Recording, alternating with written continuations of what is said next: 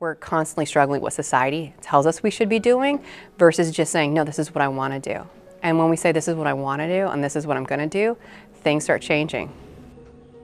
I think the one thing that has really driven me to continue to serve is, you know, if, if not you, then who?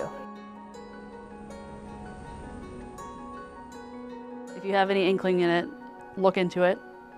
And if after you look into it, you are actually interested, then take the jump and do it. No one can stop you.